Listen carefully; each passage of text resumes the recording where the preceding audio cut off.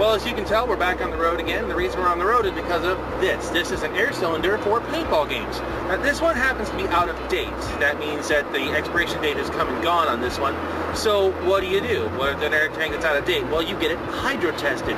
So that's where we're going today. We're going to Kenosha, Wisconsin, so that I can get this air tank hydro tested. My name is Matt Carey, and I'm a licensed DOT hydro tester. This is actually a professional tank vise. You can clamp it in here without doing any damage to the tank, and it'll hold it nice and tight. The first thing we got to do, we remove the reg already, and uh, next we got to do a complete visual inspection on it, inside and out, threads, and look for any type of damage. Not only do we have to do one before the hydro, we also have to do a complete visual after the hydro test. So next we'll write down all the information off the tank your serial number, the manufacturer name. The manufacturer name is always the person that made the tank, not the reg manufacturer. It's either Carleton, SCI, or Luxfer are the three major uh, cylinder manufacturers, including Crossfire right now. This number right here, this REE 15.4, when we actually do the hydro test, this is the number that's on there. Your tank can expand past 15.4 cc's. This one is probably going to expand about, uh, I'll give a rough guess and we'll see how close I am, but this one's going to be about 14. So as long as the expansion isn't over 15.4, your tank is good. Not all tanks have it. So any tank with an REE, that's what that number means. It's the expansion of the tank. And then the hydro test that we have an adapter that we screw into your tank. And every day before testing, what we do is to make sure there's no leaks. We use a, a larger tank over there, and we do a normal test. We have certain criteria that we gotta test every morning. We gotta test the whole system for leaks and make sure it's still calibrated.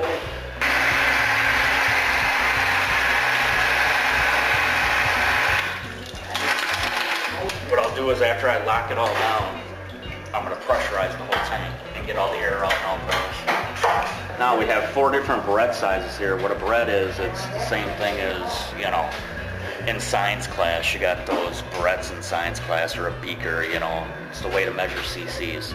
There's two ways to measure CCs. You can either use this system or you can use a scale.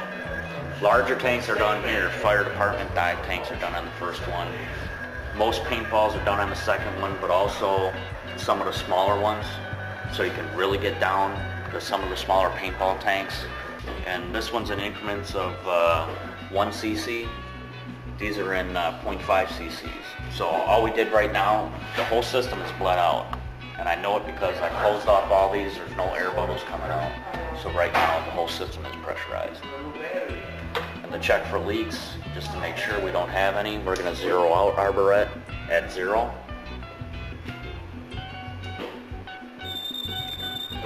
We'll leave it sit there for like five minutes just to let everything balance out. Close the valve off. Here we go.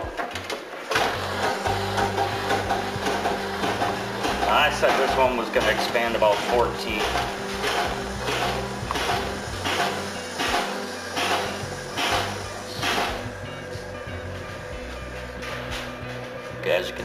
Exactly at 7,500. And this tank right now, as it stands, expanded 13.8, right below 14. And then with uh, this tank, with with this particular one, we're going to hold the pressure for uh, 60 seconds. What we look for is any change in uh, the level. This is still balanced out. We make sure equipment's not leaking and we got to stand here for the next 60 seconds and release the pressure. Now, your, this particular tank didn't come actually come back to zero, 4.34%. Is that good or bad? That one, it could have been anything. It still passes. If that was a normal, you know, a tank without an REE, that would be bad. That'd be really bad. That, that'd be close to you know, condemning the tank. Yes, is it still good? 5% is the legal limit here. it really doesn't matter. We still put it down because we have to, but that's not, had this doesn't have anything to do with rejecting the tank. It has everything to do with this number 15.4. And that'll dry in about uh, five minutes. The large ones will dry in about eight, eight to ten minutes. So it's high pressure heat, blown air, like not even as hot as a hair dryer. It doesn't get that hot. Maybe, uh, I don't know, 70, 70 degrees, 75. It doesn't even get that hot. We're going to look at the threads to make sure the threads didn't get damaged in the process of the hydro. That's it.